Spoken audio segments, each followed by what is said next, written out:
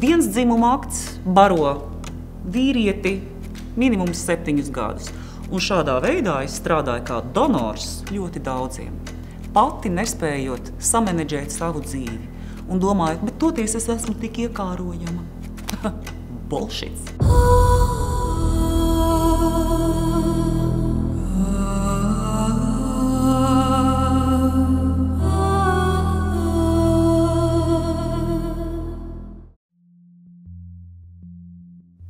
Bērnība bija ideoloģiska. Um, man likās, ka man ir ļoti palaimējies. Es domāju, ka tā arī bija. Ar dzīvi, ar skaistumu, kas man ir apkārt, un um, man bija izteikti vēlēšanās kādam pateikt paldies. Un uh, tas, kam es teicu paldies, bija Ļeņins. Pēc tam es uzzināju, ka tā nebūs īstā persona. Tad es uzzināju, ka ir kaut kāds dievs. Un, uh, tā es sāku veidot kontaktus ar viņu. Bez baznīcas, bez komercijas un bez starpniekiem. Tā tas ir līdz šim. Tas ir mans ideālais vīrietis.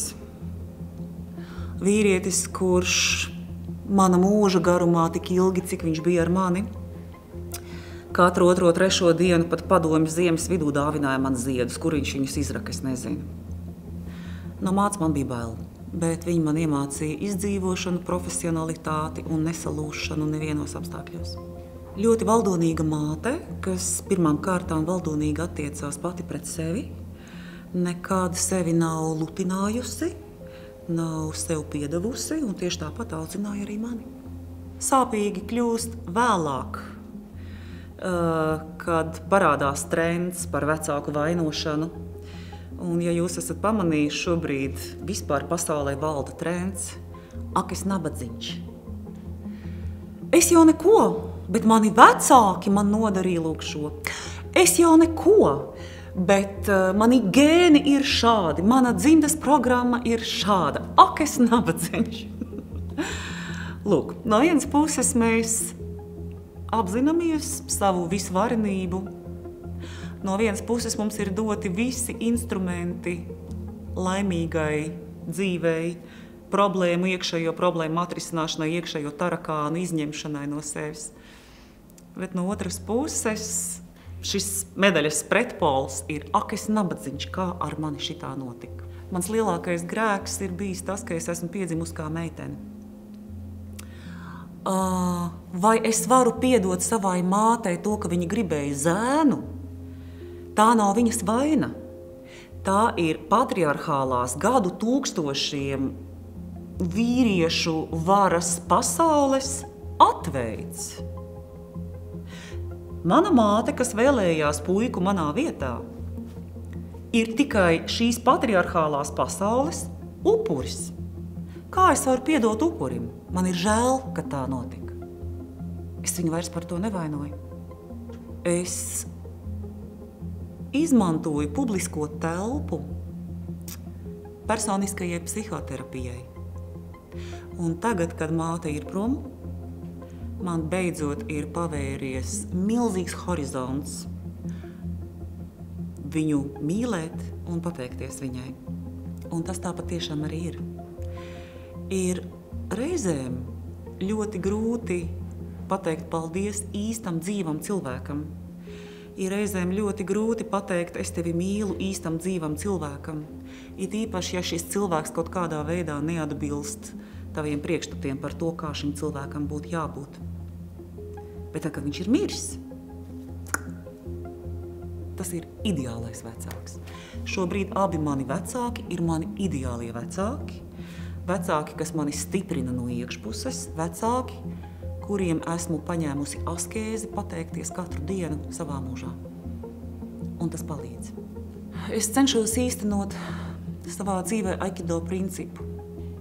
Ja kādreiz es stāvēju kā siena par kaut kādām savām iedomām, tad uz šo brīdi es esmu aptvērusi, ka nav absolūtās īstenības, Neviens no mums nezina, kā ir ierīkota pasaule.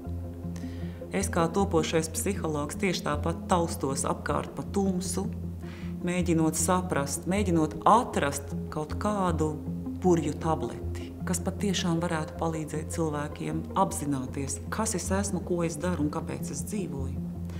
Jo lielākoties šīs kustības, kuras mēs izdarām savā dzīvē, ir autopilots.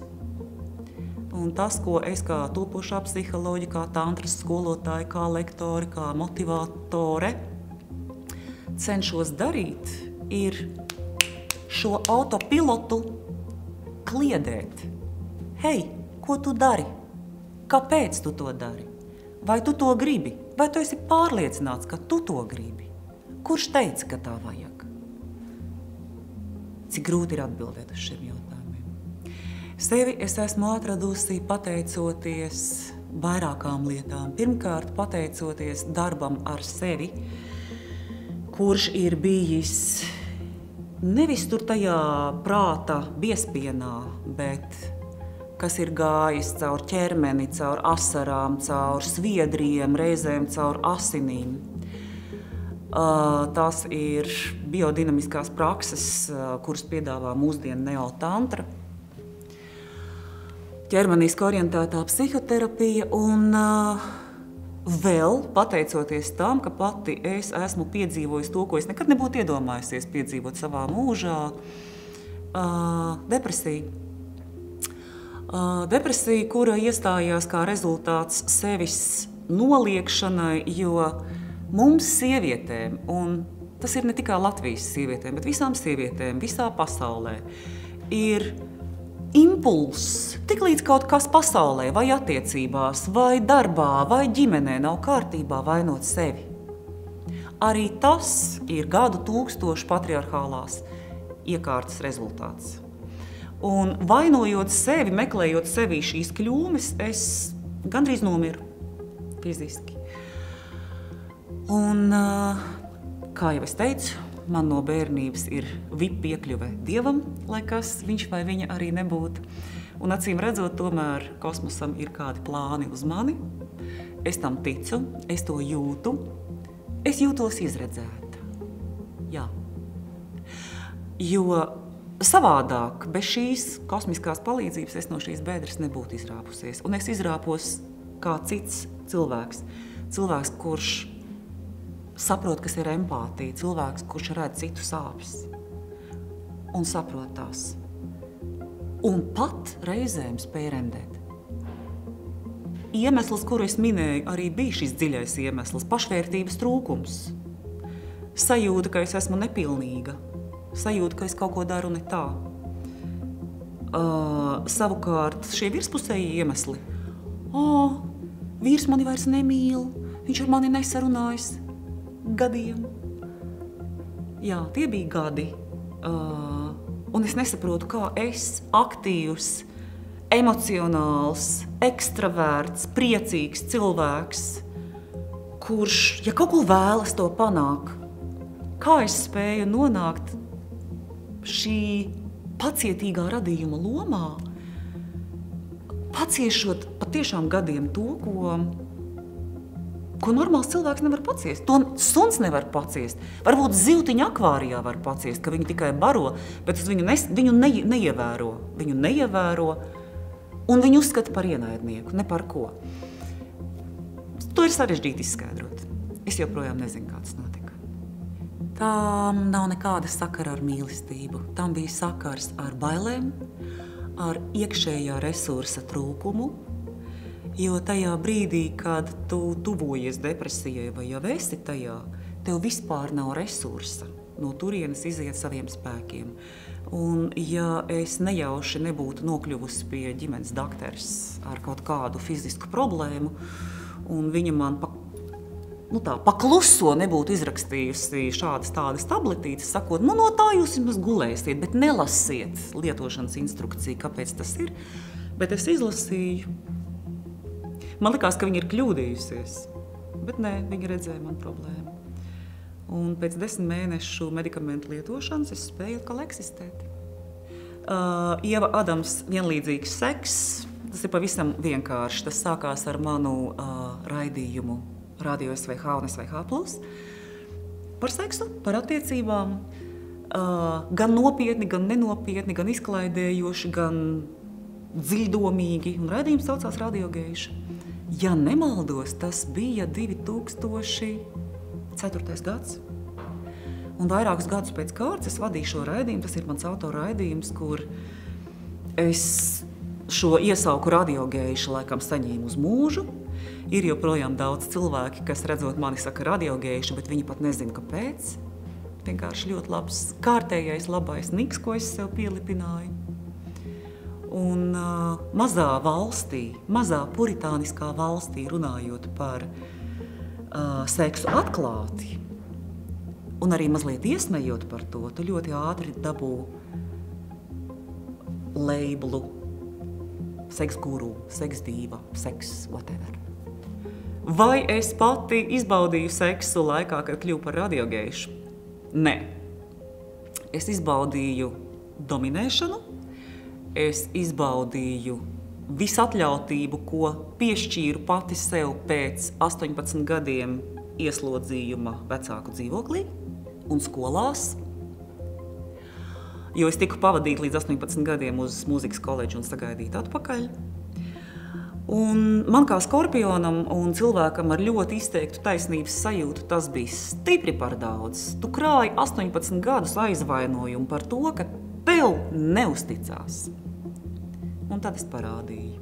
Es domāju, ka es viņiem parādīšu, bet īstenībā es viņiem atriebos, nodarot milzīgu kaitējumu sev, fizisku un morāli. Nedariet tā kā es. Atriebība ir kā inde, kuru iedzer tu, cerībā, ka nomirs tas otrais. Es neatriebos, protams, nevienam.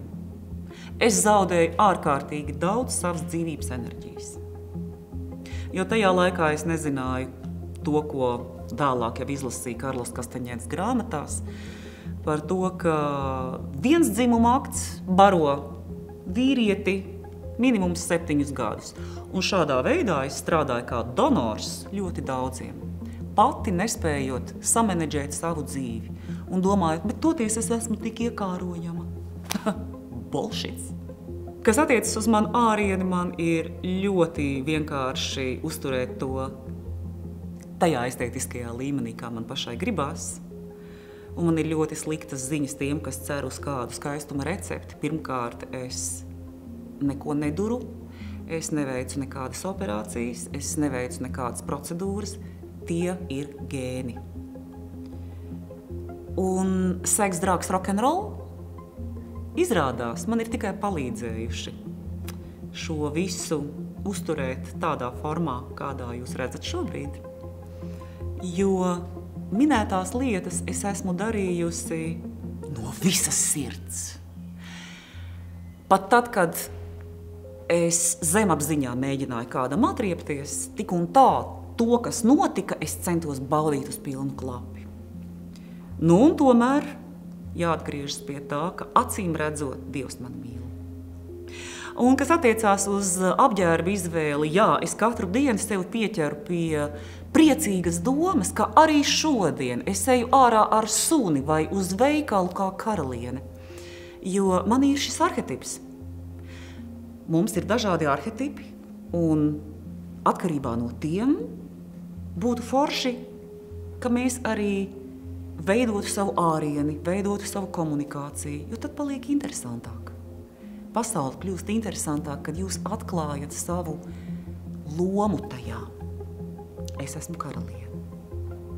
Īstenībā es piekrītu domai, ka mūsu dzīve ir datorspēle, liela, liela datorsimulācija Un uh, es cenšos izprast to patiešām tādā kvantu mērogā, saprotot, ka īstenībā es varu pārlekt šķēršļiem un lidot. Vienkārši man ir jāsaprot, ka tā ir spēle. Un beig beigās uh, šajā spēlē es nekad neesmu attiekusies pret sevi pārāk nopietni. Tas ir mans know-how. Varbūt arī ir tas, kas saglabā manu izskatu svaigu salīdzinoši. es domāju, ka es šobrīd esmu nonākusi diezgan augstā spēles līmenī, jo zemākais viens no sarežģītākajiem, protams, ir tāds izdzīvošanas līmenis. No rokas mutē, kur lai dzīvo, kā lai, kā lai tagad pārtiek. Šajā līmenī es vienreiz mūžā esmu nokļuvusi 2008. gada krīzē. Izgāju šo līmeni veiksmīgi. Šobrīd es esmu tajā spēles līmenī, kur no tevis sāk prasīt tavu talantu realizāciju. Un pēc Maslova piramīdas, ja mēs uzskatām šo spēli kā Maslova piramīdu, tad tur pašā augšpusē arī ir šī paša realizācija. Un es ievēroju, ka man ir tik grūti ar šo pašrealizāciju, ja vien leduskapī ir kāds ēdams produkts. Jo kāda tad ir motivācija? Un vispār par motivāciju es laikam domāju tāpat kā Irīna Hakamāde, kas saka, ja jums nav motivācijas kaut ko mainīt savā dzīvē, es jūs apsveicu, jums viss ir kārtībā.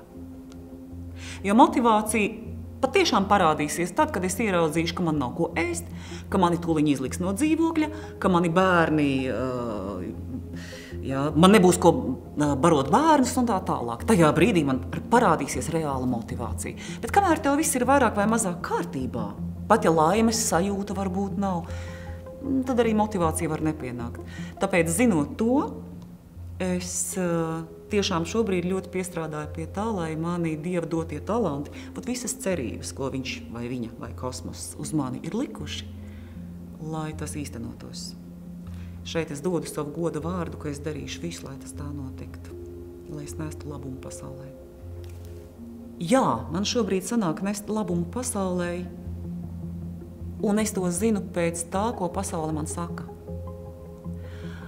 Un šie pasaules pārstāvji, kas ir mani līdzcilvēki, pazīstami, nepazīstami, cilvēki, kas nāk uz maniem retrītiem, uz manām lekcijām, cilvēki, kas vienkārši vēlas ar mani draudzēties, cilvēki, kas vēlas ar mani komunicēt, uz ielas, sociālajos tīklos, jebkur. Viņi saka, wow, es gribu tā kā tu. Es gribu iemācīties tāpat. Un tad, kad es viņiem iemācu kaut ko, ko es zinu, Viņa saka, mana dzīve ir mainījusies. Es domāju, ka tā ir milzīga svētība. Bez ciešanām savā dzīvē es nekad nevarētu nostāties uz skolotājas ceļa, uz kuras stāvu šobrīd. Um, par to viskaistāk ir teicis viens mācītājs, ar ko man ir bijis gods būt pazīstamai. Viņš bija cilvēks, kurš atnāca pavadīt manu māti pēdējā uh, ceļojumā. Tā tad iedeva viņai pēdējo vakarēdienu, un pēc tam viņš diezgan ilgi palika pie manis, sarunājoties ar mani, lai gan man jau likās, ok, ok, paldies, jūs izdarījāt visu, tagad jūs, nu, tik, ko es jūs kavēšu. Bet viņš sēdēja un pļāpāja ar mani, stāstīja visādus tur baznīcas jokus, visādas jaukas muļķībiņas, un mani sāka emocionāli kaut kā atlaist, un beigās, ejot prom, viņš teica, es nezinu, kādas ir jūsu attiecības ar māti, bet es varu tikai nojaust, ka tās nav tās vienkāršākās. Es varu nojaust, cik daudz sāpju jūs esat piedzīvojis un kā jums sāp šobrīd. Bet ņemiet vērā, Kristus, kad augšām cēlās, viņš augšām cēlās tādā gaismā, ka neviens īsti nesaprata, kas tur tā spīd. Un tikai viņa rētas bija saskatāmas labi. Un viņš teica, skolotāju, var atpazīt tikai pēc rētām. Un tās man, paldies Dievam, ir. Manas vislielākās rētas ir saistītas ar mīlestību pret tiem cilvēkiem, kur šai mīlestībai būtu jābūt ideālai. Tā ir māte un vienīgais cilvēks, ko aprecēju. Māte un vīrs. Un tieši šīs divas lielās mīlestības man ir pievīlušas.